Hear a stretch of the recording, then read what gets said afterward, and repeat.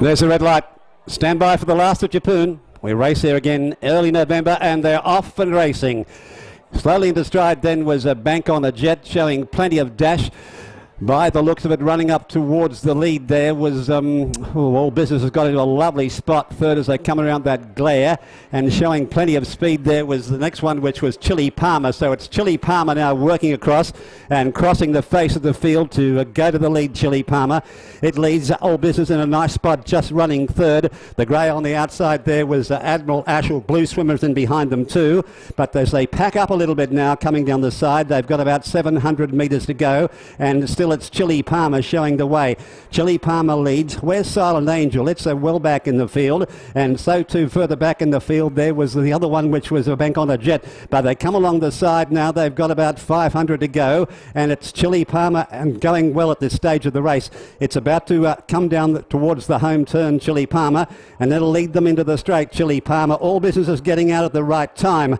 Chili Palmer's in the stretch and has a nice commanding lead. Trying to run it down then was a blue swimmer. Admiral Ashes in that bunch of horses too. And all businesses coming to the outside. They've got about 100 metres to go. And running a good race here is Chili Palmer. It looks like it's got it parcelled up. Silent Angel's running home fast. But it's going to be a Chili Palmer. Chili Palmer's going to go on and beat the grey, which was Admiral Ash.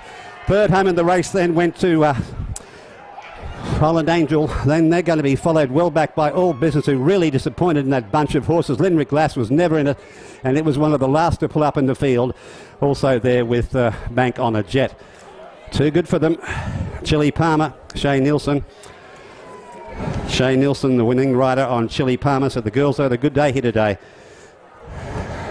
I'll get the numbers for you shortly, but uh, that went to the front shortly after the start. They dawdled along, and she had enough in reserve to hold on. Coming home rather fast towards the end was Admiral Ash. Silent Angel loomed up. Very disappointing was all business. He was given every opportunity, but uh, he weakened badly. So we'll have the placings for you shortly after the running of the Hunt Huntley's Heavy Equipment Benchmark 50 Handicap. Going the way of a Chili Palmer, Shane Nielsen for Tracy Simmons from Mackay. Has been too good. Just waiting for the judges' numbers after race number five here this afternoon at Keppel Park. To the winner, which was Chili Palmer, Shane Nielsen. Second went to number 11, which was Admiral Ash, Claire Ramsdorfen and Ramsbotham. And third went to number 10, which was uh, Silent Angel, Adam Spinks. Winner scored by a length by a half neck, 123.79 was the time. So Shay Nelson, Nielsen is a uh, heavyweight apprentice. Lovely to see her win a race today. She goes all over the country areas of central Queensland, Capricornia, and further up north from Mackay. And she's ridden that race a treat to win on Chili Palmer